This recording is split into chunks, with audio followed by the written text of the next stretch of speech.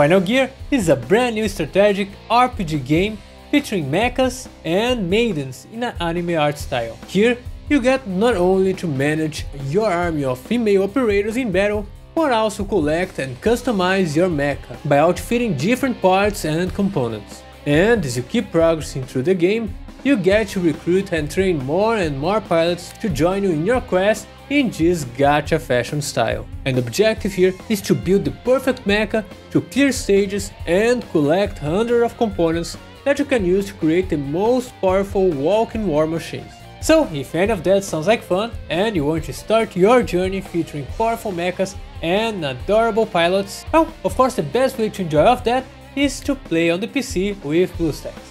So, in today's video, I will show you exactly how you can download and install the game to streamline your gameplay.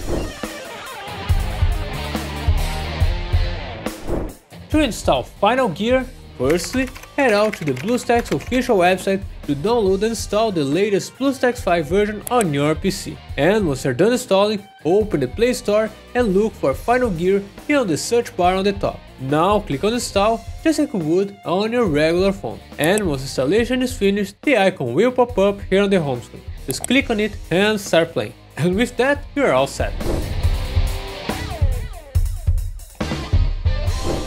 In just a few minutes, you'll be commanding your army of maidens and developing new technologies to give to your robots the advantage they need to destroy the competition.